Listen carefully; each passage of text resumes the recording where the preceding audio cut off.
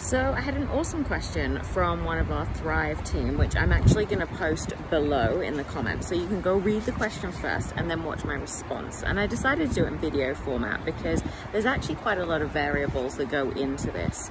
So first of all, leaking, wetting yourself, whatever it is, whether it's getting up off the sofa or doing a CrossFit workout, it's not normal okay? Yes, it's common, but it's not normal and it shouldn't be happening. Grown women should not be wetting themselves. So first of all, we need to get that across to the client because essentially it's kind of been normalized.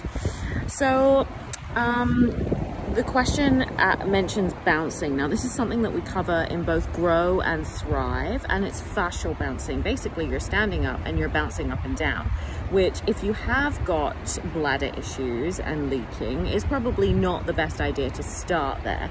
So, the question is absolutely right in its wording. Should I maybe downgrade that a little bit and work on other things until we get more control of the bladder?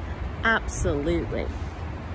What you want to do is you want a bla a bladder issue or a pelvic floor issue is mostly because the muscles around the pelvic floor are not in flux. And by that, I mean they're either gripping too tight or they've just completely let go. There's no, they're at either end of the spectrum and there's no in between. We want them to be somewhere in between and to be reactive um, to what we do and almost anticipatory in uh, towards what we do. So we want them to modulate no matter what we're doing in life, whether we're doing a CrossFit workout, whether we're getting up off the couch.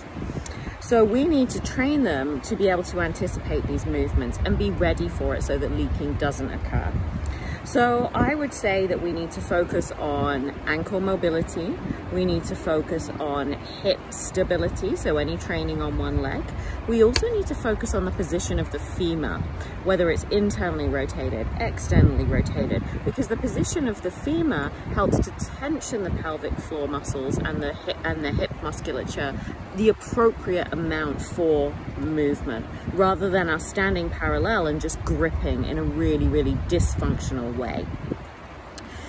The other thing we need to mention, and that I've said many, many times on here before, is that the more we focus on it, the more dysfunctional it becomes. So one of the last things you want to be doing is cueing lift up on your pelvic floor. That's just going to be adding to that excess grippiness of the muscles and making them even more dysfunctional than they already are.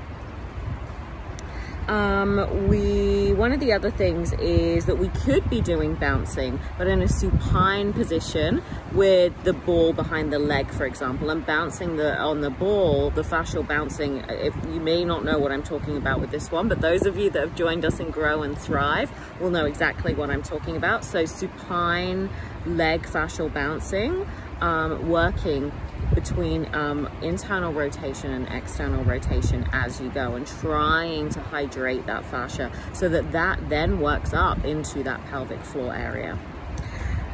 The one thing we have to say here is stop stretching. So this question that was asked was relating to female runners. I may be generalizing here, but female runners typically stretch and they stretch pretty aggressively to end range, often passively. This has to stop.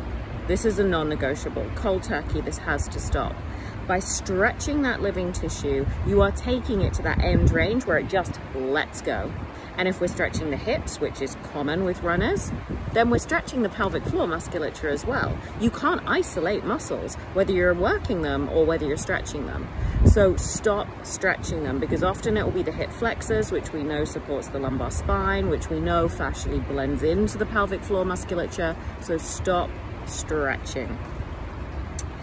And then the final point I have on this question that I think needs to be included is there's a massive psychological and emotional effect that works into, uh, sorry, effect, I mean variable, that works into um, stress incontinence.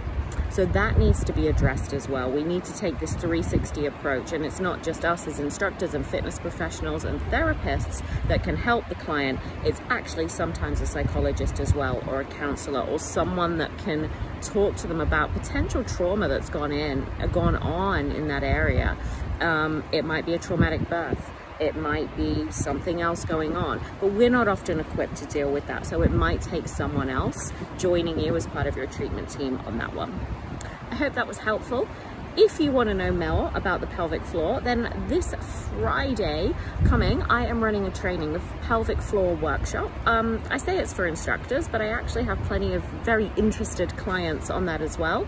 Um, all are welcome. If you can't make the live, then we will be giving the recording for 40, uh, no, 72 hours afterwards. I decided to be kind. Shocker. Um, it is at uh, 9 a.m uh, UK time, which is 12 noon Gulf Standard Time. It's two hours. Certificates are given so you can register for your CPD points and it's this Friday. The link is in the bio to join. I look forward to seeing you there.